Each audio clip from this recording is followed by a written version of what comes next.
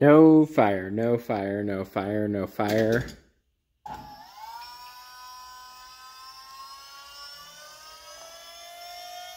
Uh, supposed to do that?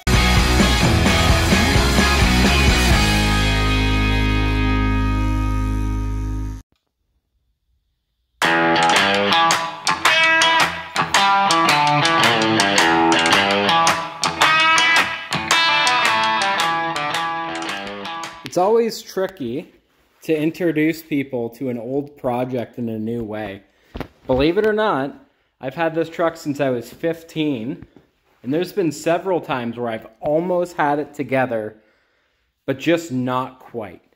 This is a 1977 F100 Custom step side, but it is sitting on a 2008 Crown Victoria P71 police car chassis, which is fantastic for any uh, early bump side and dent side trucks but I didn't want a 4.6. Basically, all of this stuff almost was in a Derby. So this is a 1971 Cadillac 472 big block. Has a uh, Edelbrock Performer RPM intake. I actually probably can't see it. I built a uh, big block Chevy oil pan for it, modified to fit the Caddy. It has 390 Ford long tube headers on it that were also modified, but they were close-ish to the right ports, so they worked. And uh, we're going to electrify it a bit. I want to get this thing out. Obviously, these two are still coming out. Just got a new fire suit. And, uh, you know, you might be wondering why I would be building this instead of finishing, you know, one of the race cars. Uh, long story short, I am finishing these guys. This guy is almost ready for battle. And this guy well, I got to finish putting together the Hemi, so it's not quite ready. But I kind of want to tinker with this. I want to try to get it out before the end of the year. And honestly, I want to try to tow one of my race cars with it. So what we're going to do is put electric power steering on it. I've already started. I don't want to give away too much. And, uh, you know, I have long-term plans for this thing. But for now, I guess we'll have to go back in time and go to the junkyard.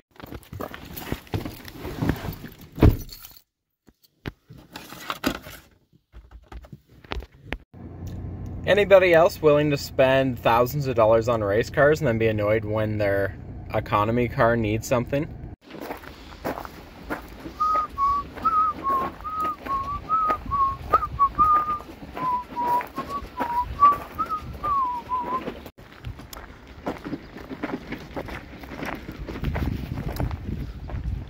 We're only here for a power steering pump.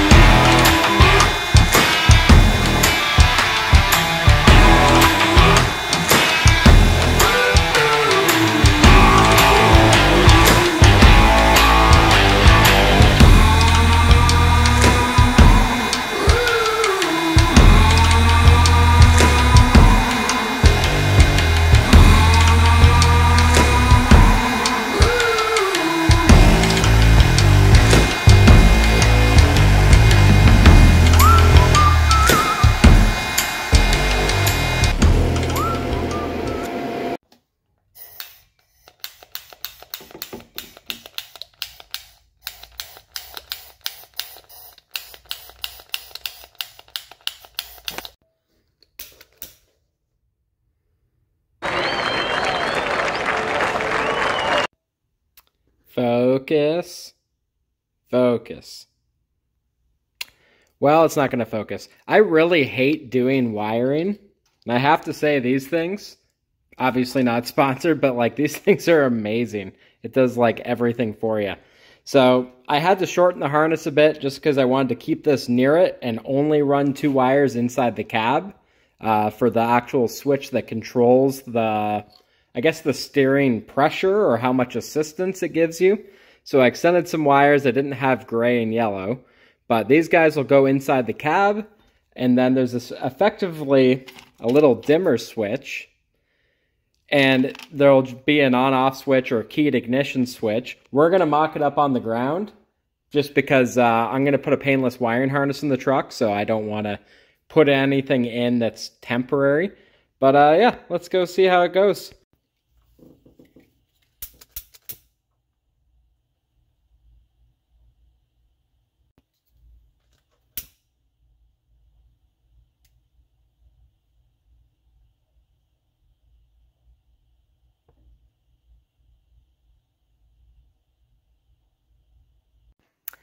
So this is about as janky as you can get.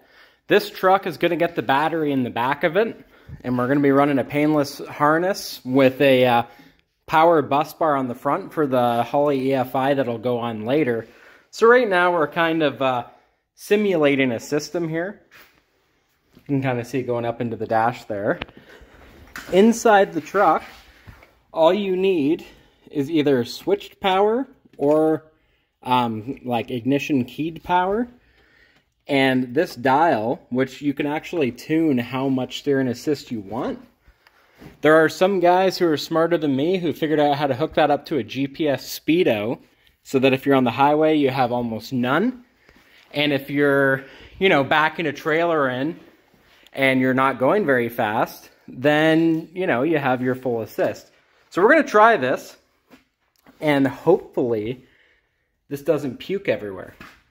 Now, this guy requires constant power. You can kind of see it here. Going to our battery. And then you're essentially triggering it. You can do this without a controller. You don't need this. Um, all you have to do, I believe it's the middle pin, is to just have an on-off switch and it'll go into basically like an idle mode. So it'll be, I think, half the assist power. Don't quote me on that. But honestly, with, I think this kit, I found it on eBay for like 40 bucks or 50 bucks. Probably worth doing. So let's see if this thing will puke its guts out. And also, yeah, the hose situation's a little hilarious. I'll have to fix that. So you might be asking yourself, why would I want this pump in the first place? Well, this thing is only going to have an alternator and water pump. So I wanted to clean up the front. It's also really tricky to find big block Cadillac accessories. They don't seem to come up for sale all the time, like uh, factory brackets and stuff. And obviously this isn't a restoration deal, but the cool thing about this pump is it's still going into a factory power steering column. So anything that already had power steering whether it be rack and pinion or steering box, technically you could put this pump on it, hide this so that it's nowhere to be found, you know, just running your lines. You know, it could be in a trunk, it could be wherever. And now you have power steering. And honestly, like, this steering setup's a little weird because this engine's gigantic and it steers so good. So, yeah, if you have a hot rod with really, really wide front tires and you want it to handle good, this is probably a good option. Not to mention, I think it was like 60 bucks from the junkyard for this thing. Obviously, the poor uh, Volvo I ripped it out of probably isn't super happy about it, but I certainly am. Okay, um, you guys watch for smoke, and uh, I'll... Well, I'm going to turn the steering wheel. All right, so right now when I turn it on, it should be at its lowest setting, assuming I didn't screw anything up. it sounds pretty cool, actually.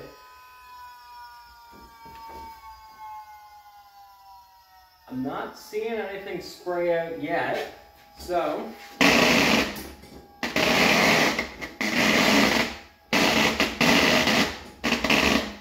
does steer a little better, but that is the lowest setting. Let's see if we can rev it up a bit here.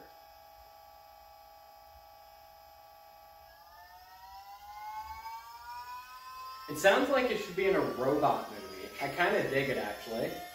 So it's revved up now.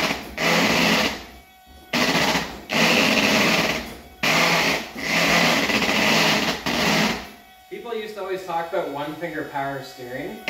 This is just, I'm barely turning this thing.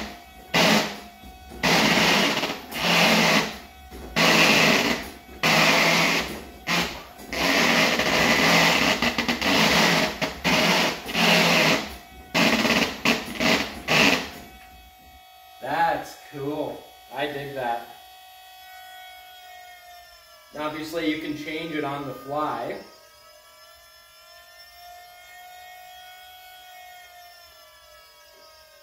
And then just kills the power. Thank you very much for watching. I uh, know this is a little bit different, but, you know, I want to try to get this thing out this year, and I figured it would be a fun project.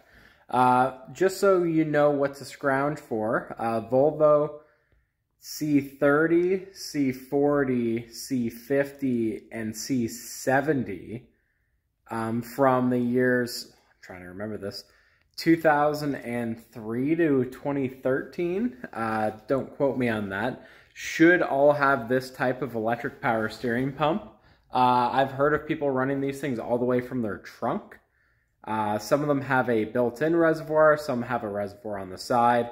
But either way, if you have a huge motor and something small, don't have room for a power steering pump, or just quite frankly don't want one on uh, the front end of your engine, this is a really good option. So uh, yeah, thank you guys for watching and uh, go build something weird.